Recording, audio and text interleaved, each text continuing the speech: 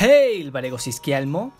Yo soy James Elio y les comentaré lo más importante que se vio en The Witcher Con, el evento sobre el mundo de The Witcher tanto videojuegos como la serie y cómics.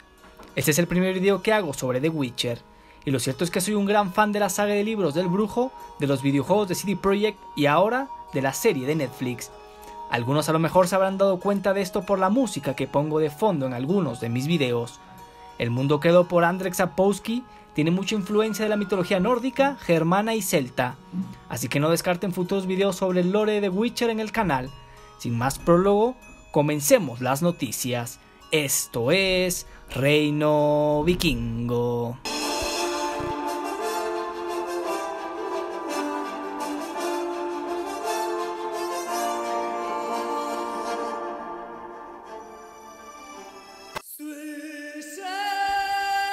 CD Projekt y Netflix han aliado para producir una convención digital que sirve como celebración del legado de The Witcher. Allí se ha mostrado todo relacionado a producciones televisivas, el mundo de videojuegos y los cómics, por lo que estamos en un buen tiempo para los que somos fans de este universo. El propio autor de los libros y creador de la saga nos da la bienvenida a este evento, y cito textualmente lo que dijo. Me produce una enorme alegría dar la bienvenida a todos los fans de The Witcher, los apasionados por las novelas, la serie de televisión y los videojuegos a la convención virtual WitcherCon.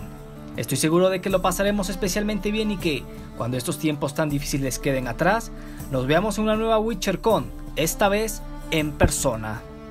Así que con esto que el propio autor ha dicho, nos hace concluir que este es el primer evento de muchos más en los próximos años, por lo que habrá muchas novedades en el futuro.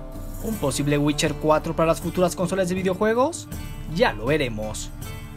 Durante el evento se lanzaron artículos que podremos reclamar y canjear totalmente gratis, como son cartas de Wend, los cómics hechos por Dark Horse y un concierto grabado con música inspirada en el juego. Para reclamar estos artículos basta con acceder a la web conmemorativa, pero vayan ya por sus regalos, pues esta promoción acabará el próximo lunes 12 de julio. Y ahora sí, pasando a noticias más importantes, se reveló la actualización de nueva generación que The Witcher 3 recibirá para PlayStation 5 y Xbox Series X, CD Projekt Red está trabajando en una serie de DLCs inspirado en la serie de Netflix que llegarán de manera totalmente gratuita al juego. De momento no se ha concretado qué tipo de contenidos o la fecha en la que estarán disponibles, pero yo creo que serán cambios de skins en los personajes del juego y misiones extras. Díganme, ¿quién de ustedes no quiere jugar The Witcher 3 con el aspecto de Henry Cavill? Porque yo sí. Aunque no se anunció nada sobre The Witcher Blood Origin, la precuela de The Witcher también producida por Netflix, se anunció The Witcher Running, un cómic que cambiará la estética medieval y nos trasladará al Japón feudal, dejando de lado las dos espadas rectas a pasar a dos katanas para cazar monstruos. Pero lo más importante fue el anuncio de The Witcher Nightmare of the Wolf, una nueva serie animada de Netflix basada en la saga del brujo donde veremos a un joven Vesemir, el mentor de Geralt. La estética de la animación me recuerda mucho a lo que nos mostró Netflix con Castlevania, una serie animada que a mí me ha encantado. La buena noticia es que no tendremos que esperar mucho para verla, pues estreno en la plataforma de Netflix está programado para el próximo 23 de agosto, que ya está aquí a la vuelta. Y, por último, vamos a la cereza del pastel, la joya de la corona, pues se mostró un trailer y se dio fecha oficial al estreno de la segunda temporada de The Witcher, misma que podremos ver este mismo año, el 17 de diciembre. Hay que esperar, pero no tanto. Yo no suelo analizar ni ver los trailers muy a fondo, pues siempre prefiero esperar a ver la producción completa, ya sea serie o película. En esta ocasión, Vi el trailer por encima, y lo que pude notar es la llegada de Geralt y Ciri a Kaer Mohem, donde la leoncilla de cinta será entrenada por los demás brujos, sucesos que ocurren en el tercer libro de la saga, llamado La sangre de los elfos.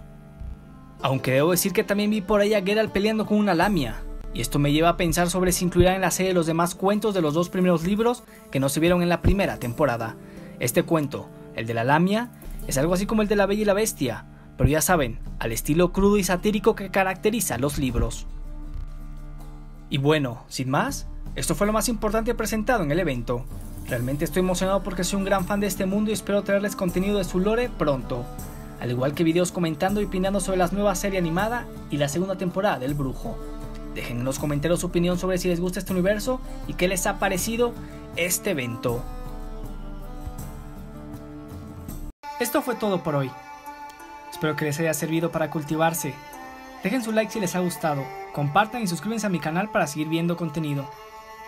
También pueden seguir en mis redes sociales del canal, Reino Vikingo en Facebook y en mis redes personales, James Pimentel en Instagram, Twitter y también Facebook. En todas subo contenido extra. Gracias por escucharme y nos vemos en la siguiente historia.